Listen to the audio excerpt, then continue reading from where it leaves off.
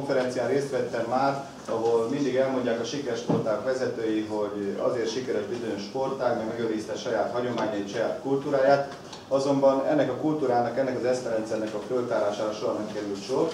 Erre teszünk a kísérletet ezen a, e, ezen a konferencián belül. Az előadásunk címe a siker tényezői, és már törgetjük is a dolgokat. Az antropológusoknak van egy bölcs tanítása, hogy a történelemben egy népcsoport sikere identitás jelentő kultúrájuk és technológiai függvénye. Röviden lefordítva, ez azt jelenti, hogy a sikernek három tényezője van, a kultúra, a technológia és az organizáció, ez a népcsoportoknál. Ezt lefordítjuk a, a sportágakra, akkor a kultúra megfelelője, vagy megjelenési formája a sportpályán az a játékstílus, a technológia az a blockchain, az a játékmodell, amit a játékosoknak leoktatnak az edzők, és az organizáció az ennek a szervezése. Amikor feltesszük a kérdést, hogy miért beteg a magyar futball, kosárlabda, röplabda, akkor a válaszunk valami egyszerű, mert azt mondjuk, kihalt a sportági kultúra.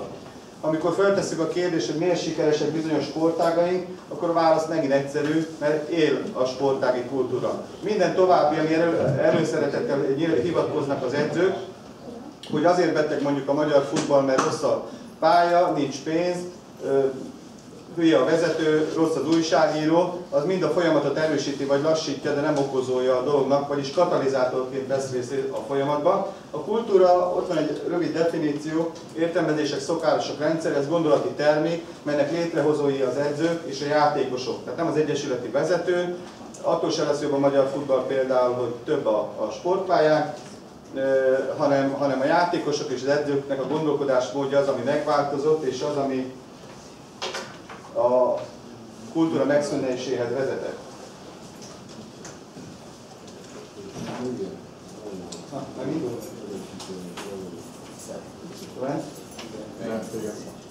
Bocsánat, lassú a rendszer? Túl, túl sokat mentem akkor. Vissza. Hoppá, most jó, most. Jó. Egy rövid tanmesét mondanék a gondolkodásmódra. Ebbe a 2, 4, 6, 8, 10 sorba le van írva az egész konferenciának a lényege. Ügyei gondolataidban azok szabják meg szavaidat, ügyei szavaidban azok szabják meg tetteidet, ügyei tetteidben azok szabják meg szokásaidat, ügyei szokásaidra, azok szabják meg jellemed, ügyei jellemedre, mert az szabja meg sorsodat. Vagyis ami a lényeg, ha a gondolkodásmód változik, akkor az vagy sikerességhez vezet, vagy a sportági kultúra kihalásához. Az első két sor alapján fogunk majd haladni előre a konferencián, vagyis a nyelvünkből fogunk következtetni arra a fajta gondolkodásmódra, ami belőlünk, magyar emberekből jön, és ami a magyar, magyar észjárás címen vonult be a köztudatba.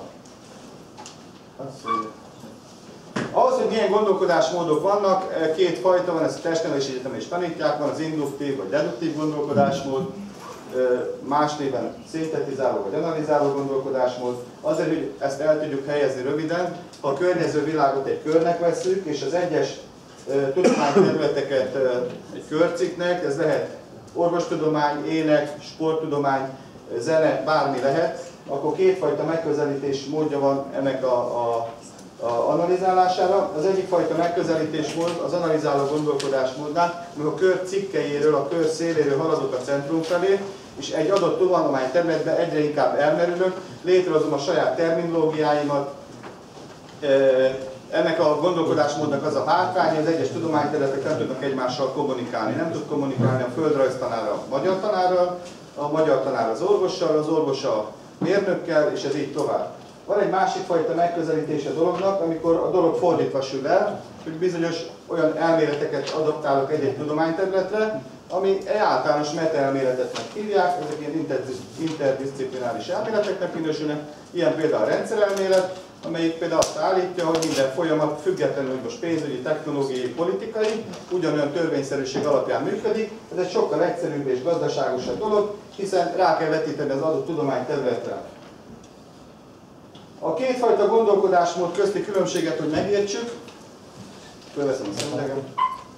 Az analizáló gondolkodásmódnak az a funkciója, hogy leír megismertet, a szintetizáló gondolkodásmódnak az a funkció, hogy üzemeltet, alkot, működésbe hoz. Az egyiknek a kiinduló kérdése mi miről áll, mit látok, a másik mi mire használható, miért azt látom. Egy egyszerű példát mondok, gépkocsi. Ha analizálóaggyal nézem, akkor azt mondom, hogy áll 1000 kg vasból, 30 kg alumíniumból, 10 kg műanyagból. És nem hazudtam. Ha szintetizálóaggyal nézem ugyanezt a gépkocsit, akkor azt mondom, van egy erőforrás, van egy önhordó szerkezet, van egy kipufogó rendszer, stb. Az első esetben nem tudok összerakni belőle gépkocsit, a második esetben össze tudok tenni belőle gépkocsit. Az egyik egy funkcionális működést ír le, a másik egy nem funkcionális működést. Van itt egy bölcselet az utolsó sorban, ami a megismerésben előnyös, ez az analizáló gondolkodás, az az alkotásban károssá válhat. Ez történt egyébként pontosan a magyar labdarúgással, hogy játékelméletet váltottunk a 60-es évek elején, és oda jutottunk, ahol jutottunk. Azt mondja, a lényeg az információk közötti kapcsolati hálóban van, ez a szintetizáló gondolkodás, nem az egyes különálló információkban, ez az analizáló gondolkodás. Az egyik értő tudást ad, a másik tárgyi tudást ad. A rendszer az alkotó részének kölcsönhatása révén tartja fel magát, ezért a részek viszonya és kölcsönhatása az mindig fontosabb, mint hogy ez a rendszer maga hány részből áll, és hogy ezek a részek mekkorák. Tehát a kapcsolati háló a lényeg az egésznek. Ugye a testnevelési egyetemen az analizáló gondolkodású edzéselméletnek pont ez a kiinduló pont, hogy mindig a teljesítmény összetevőket keresi, ahelyett, hogy a teljesítmény szerkezetet keresni és azt vizsgálná. És a kettő közt ég és föld a különbség. Ugye amikor végzek az egyetemen, akkor ugye azt adja a kultutaulat integráld a tudást. Vagyis úgy helyezem az egyes kapcsolatokat, az úgy hozom össze, hogy nekem tetszik. Ha véletlenül rosszul hozom össze, akkor rossz eredményre jutok. Tehát a kétfajta gondolkodásmód az gyakorlatilag kiegészíteni egymást, nem az egyik mond ellent a másiknak, hanem ez olyan, mint a keleti és a nyugati gyógyászat, az egyik kiegészíti egymást. Egy egyszerű tanítást mondok, ha lokális a probléma, akkor analizálódja, gondolkozom, ha globális a probléma, akkor szintetizálódja. Tehát mind a kettőre szükség van, ami az egészet teszi ki. Mint ahogy mondtam, egy olyan négy-egy kutató munkájával írtam meg azt a zöld könyvet, vagy létszes azt a másikat. Ez egy 500 oldalas könyv, ez a magyar futball tradíció eszmerendszeréről szól, amely kutatás után kiderült, hogy az egyes sportágaknak az eszmerendszere totálisan ugyanaz. Tehát 1900 és 1960 között a kosárlabda szakirodalma, az evező szakirodalom, a vívó szakirodalom, stb. ugyanazt a gondolkodási rendet tükrözte vissza, és ezt célozná ez a konferencia is, hogy ezt demonstráljuk. Na, lehet, hogy? Köszönöm szépen, erről szólt a rövid előadásom.